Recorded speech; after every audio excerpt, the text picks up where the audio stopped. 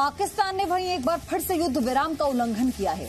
दूसरी तरफ़ केंद्रीय मंत्री जितेंद्र सिंह ने कहा कि भारत के मानचित्र में पीओके और गिलगित बाल्टिस्तान को भी शामिल किया जाए। कश्मीर से धारा 370 हटाए जाने से बौखलाया पाकिस्तान बार बार सीज फायर का उल्लंघन कर रहा है। बुधवार को जम्मू कश्मीर के राजौरी में सीमा पार से गोलीबारी की गई और मोर्टार दागे गए। इतना ही नहीं, पाकिस्तान ने उल्टा भारत पर युद्ध विराम तोड़ने का झूठा आरोप लगाया और भारतीय उप उच्चायोग गौरव एहलुवालिया को तलब किया। इसी बीच केंद्रीय मंत्री डॉक्टर जितेंद्र सिंह ने भारत का मानचित्र दोबारा बनाने की अपील की है। जितेंद्र सिंह ने कहा, जब भारतीय मानचित्र को दोबारा खींचा जाए तो हमें इसमें केवल पीओके ही नहीं, बल्कि गिलगित बाल्टिस्तान को भी शामिल करना चाहिए। अनुच्छेद 370 हटाने के बाद रक्षा मंत्री राजनाथ सिंह आज पहली बार लेह का दौरा करेंगे। सुप्रीम कोर्ट से इजाज़त मिलने के बाद आज सीपीएम नेता सीताराम येचूरी भी कश्मीर जाएँगे। रक्षा मंत्री राजनाथ सिंह आज लेह में डीआरडीओ के हाई एल्टीट्यूड रिसर्च इंस्टीट्यूट का दौरा करेंगे। सेना के अधिकारियों के हालात का जायजा लेंगे। रक्षा मंत्री लद्दाख किसान जवान विज्ञान मेले में भी शिरकत करेंगे, जम्मू कश्मीर और लद्दाख के केंद्र शासित होने के बाद रक्षा मंत्री का ये लेह में पहला दौरा है। इस दौरान रक्षा मंत्री सैन्य अधिकारियों ऐसी मिलेंगे और मौजूदा स्थिति की समीक्षा करेंगे।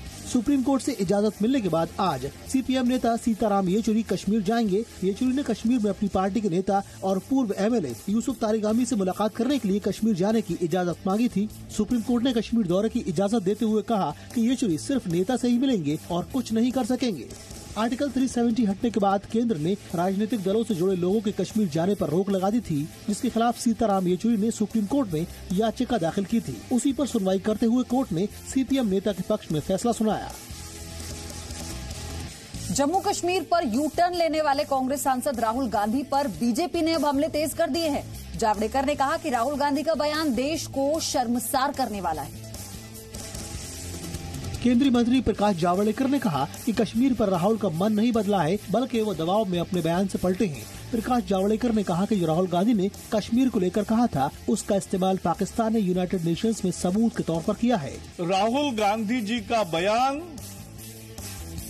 देश को शर्मसार करने वाला है। पाकिस्तान ने उसका उद्धरण करते हुए यूएन में एक पिटीशन लगाई, संयुक्त राष्ट्र संघ में पिटीशन लगाई, पत्र दिया। कि कश्मीर में ऐसा चल रहा है। और इसका सबूत, राहुल गांधी का बयान।